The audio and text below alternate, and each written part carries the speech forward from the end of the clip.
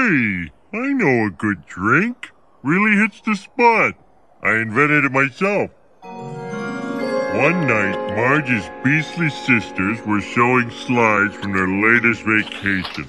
And this is Patty trying to plug her leg razor into one of those ungodly Czechoslovakian outlets.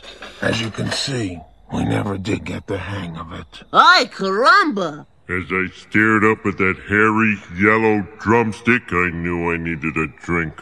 Patty, Selma, would you excuse me for a moment? If you're going for a beer, this is the last one. Don't!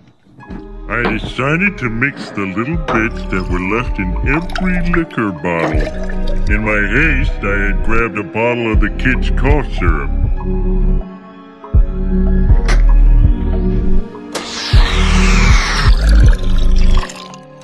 It passed the first test.